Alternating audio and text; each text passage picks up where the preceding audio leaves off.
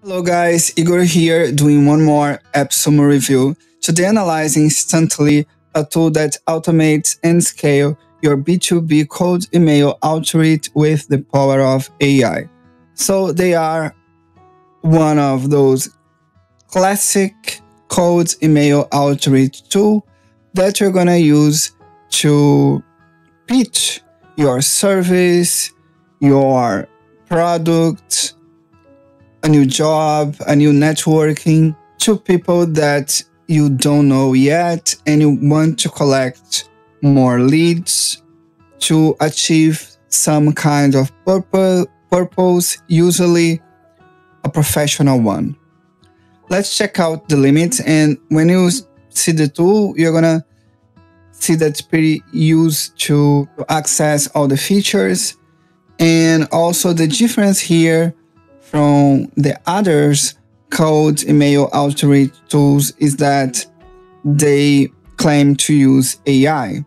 So you're gonna get email customization, automated sequence, advanced scheduling, email and account analytics, email bounce detection, smart sending and follow-ups, and the email rewriting. All of the tiers get the hypergrowth plan updates, and the difference here is the number of email that you can send per month and also the active leads.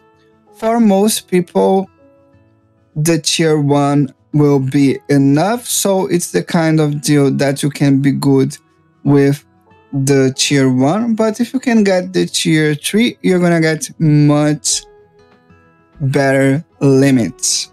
So tier one is good enough.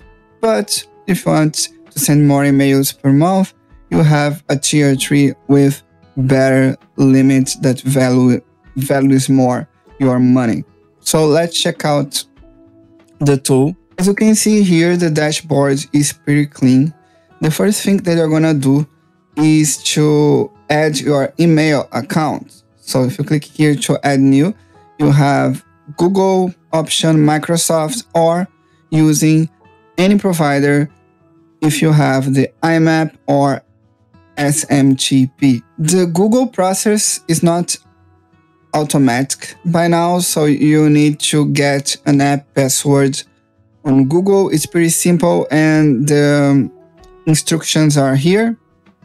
It's pretty easy to do. Also, for instance, if you're gonna add your IMAP or SMTP, SMTP, you need to have that information on your email service and you can add it here using any providers and you need to add your email and password as well. After you add your email, you can see here I add mine. You have some data here. First one, the number of emails you sent in campaigns per month. Here, your warm-up emails sent past week. Here, warm-up emails landed in inbox past week. The ones that went to the spam folder and what's your warm-up health score. So the two, you're gonna know if your email has a health score or not. Why? I'm gonna explain that. As you can see here you can also have a custom tracking domain. This is good for your warm-up process and to avoid your emails to went up on the spam box, in the spam box. So you can add, add a custom domain with a CNAME, pretty easy to do. It's like you do with any CNAME. And here you can use their warm up service. Why you need to warm up when you do cold email outreach to maintain your email domain with a good health score. Why? When you use cold email, you're going to send many emails and you're going to send more emails than you're going to receive. So this will unbalance your account and you are going to have a low score, a low health score. With that low health score, your next emails can just go to the spam folder. So when you have a cold email campaign active, it's good to enable your warm up tool because then they're going to balance the number of emails that you receive and the number of emails that you send. So when you start a campaign, when you're doing a campaign, just enable your warm up process. That's why all the tools that are doing cold email outreach, they're, they're building a warm up tool inside. And here is good instantly has that feature and also the custom tracking domain. On a warm up setting, you can decide how many emails you're to send per day, the daily limit, and the reply rate. Here is for Eh, activate the email warm up using the icons, the settings we saw, and we have also a warm up analytics. And pretty simple. So as I said, it's pretty clean, the platform. The analytics is check here, and you're gonna see the number of opened email, the number of sent emails, your open rate, replied, and reply rate. Okay, all your publishing campaigns are gonna appear on that analytics dashboard, and we have only one more icon, one more button that is here on campaigns. So how we're gonna create a campaign? Since we have an email there on the platform, we're gonna create a new campaign.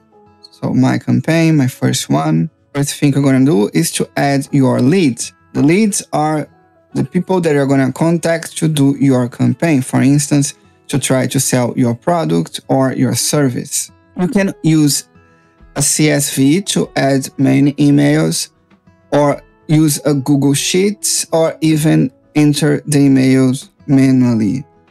Okay, so you can use that format here, just then change them. John Doe, here I'm gonna add one of my emails here, another email here.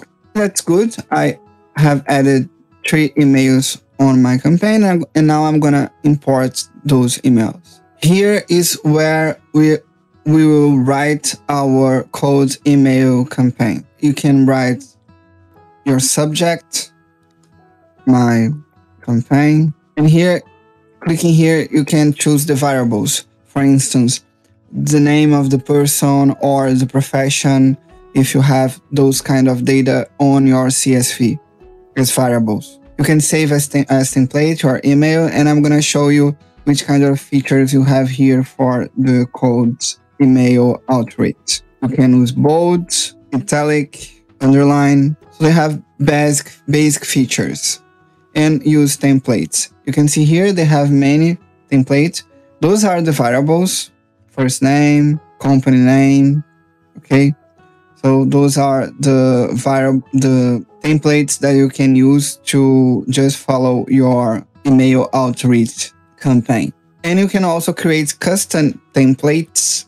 So if you add an email that you think it's interesting and you're to send again, just go here and save that email as template. And clicking here, you can preview your email and even send a test email to your inbox and you can add new steps clicking on that button. So let's check out which kind of steps they have. You can wait number of days after the first step. So after the first email, I'm gonna add wait for three days. And then I can also wait for three days and then create different steps if the person opens the email or replies to the email. So I'm waiting three days, but if the person opens the, this email before that, I'm gonna skip wait time and apply it. I ha have just added a new condition. Okay, and I can add a step three, and that step three, I'm gonna add my second email on my campaign. Okay, and then when I want to, to save, I just click on the blue button. And then I'm gonna save here one, two, and second step. And then you're gonna schedule. So which days you're gonna send the email? Okay, all the days of the week. From which time to which time? From 9 a.m. to 6.30 p.m. is what we usually usually do. And then you're to select your time zone and save. And on option, you're going to select the email that you're going to use for your campaign. If you're going to track email opens or not. If you're going to stop sending emails on someone reply, enable or disable. If you're going to use the smart send feature, observing your sending limits. And which one is your daily send limits.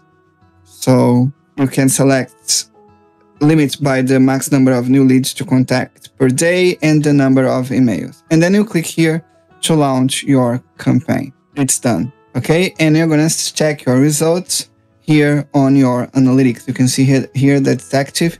My campaign one. To stop your campaign to pause it, you just need to click here and your campaign is paused. You're not gonna receive the, you're not gonna send emails anymore. On setting, you can see your profile and your usage. So that is the review. I hope you like it. Please click on the button below. I have a chance for you to get 10% off on your AppSumo purchase. Just click on the button below and you're gonna go to the plus landing page. Thank you so much. Bye bye.